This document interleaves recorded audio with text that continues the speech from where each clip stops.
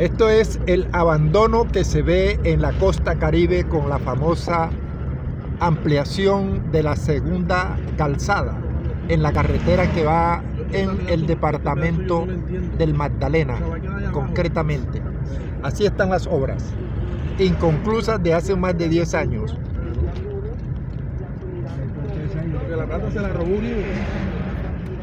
Que se llevó el señor Álvaro Uribe para comprar los centros, construir centros comerciales. Miren los pasos nivel. Todo está aquí encontramos zonas abandonadas. Ya hay fincas sobre los, los terrenos que habían eh, preparado para las calzadas. Aquí está la situación. Así como yo la de 11, 10 años. Vamos a hacerle un llamado a los medios eh, nacionales